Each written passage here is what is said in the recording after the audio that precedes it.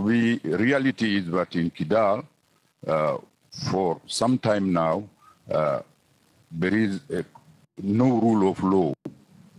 Uh, the armed groups have not disarmed since uh, the ceasefires.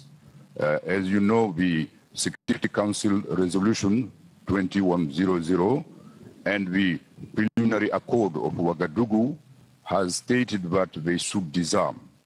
And unfortunately, we have not done so far. Uh, we, MINUSMA, the Serval, and the Malian Defense Forces who are in Kidal are faced with this uh, challenge. And uh, unfortunately, a number of elements are infiltrating those groups.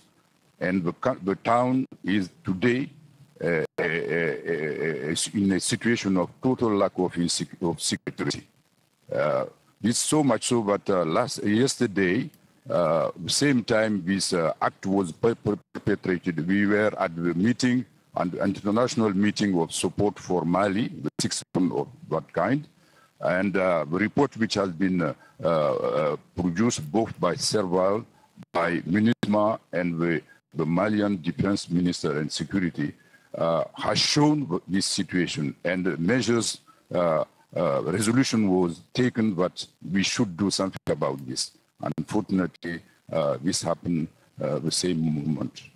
What can MINUSMA, the UN mission in Mali, do concretely about the insecurity in Kidal? I mean, you're confined to certain areas of the town. There are places that you cannot go.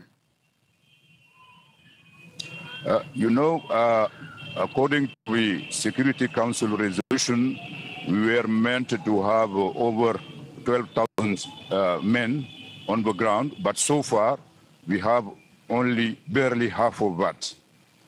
And also, in addition to that, we have uh, logistical problems. You know, it's, uh, it's a, a, a, vast area uh, which uh, cannot be covered. The troops we have for the time being, uh, a little over 5,000 and not only who are deployed not only in Kidal, but in Tessalit, in uh, Gao, in Timbuktu.